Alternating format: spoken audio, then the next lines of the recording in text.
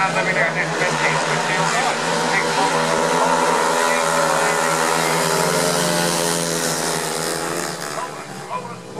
komen hier in die herstand van het, uh, wat we hier hebben, dus de derde van de league.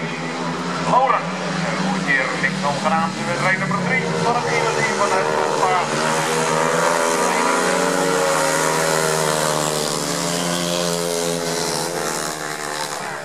Op die tweede plaats. De derde plaats is de van de Lion Eagle.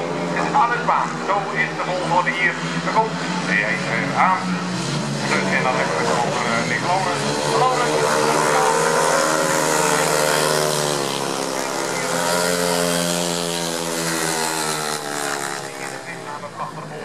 Terwijl hij hier mooi plat door die bocht. En dan krijgt hij uh, uh, vlaggetjes te zien van nog één ronde voor Nick Loren.